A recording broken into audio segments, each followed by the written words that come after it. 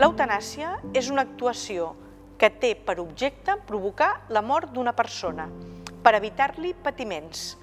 Tot i que etimològicament ve del grec eubo, thanatos, mort, voldria dir bona mort, no és això el que entenem per eutanàsia ni el que entén la llei. La mateixa llei espanyola parla de l'eutanàsia com l'actuació directa per provocar la mort d'una persona per evitar-li patiments. També podria ser per considerar que la seva vida ja no té sentit. Eh? Eh, L'eutanàsia pot ser voluntària quan la demana la persona o involuntària. En principi, la llei espanyola d'entrada contempla només l'eutanàsia voluntària, és a dir, que s'ha de demanar. Un despropòsit perquè és una llei que ha passat com a proposició de llei, per tant no necessitat ni de debat parlamentari, és una llei que ha passat sense debat social.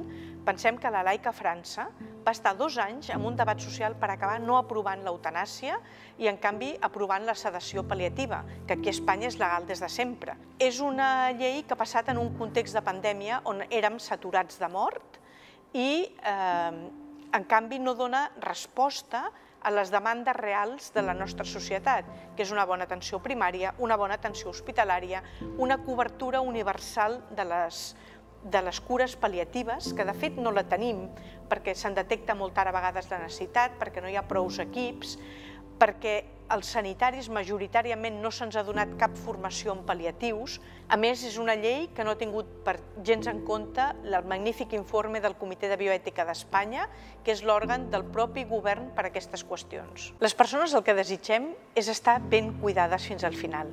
Pensem que hi ha malalties incurables, però no hi ha persones incuidables.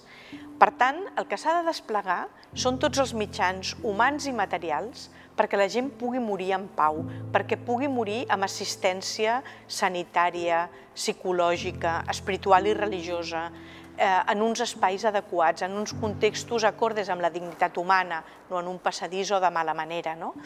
Eh, cristianament, sempre hem eh, és, el nostre Déu és el Déu de la vida, no? I per tant, una persona com en situació de més vulnerabilitat està, més objecte de protecció i de tendresa ha de ser. Eh? No es tracta d'eliminar el que pateix, sinó d'acompanyar-lo amorosament fins al final de la seva vida i garantir-li el màxim confort i benestar possible.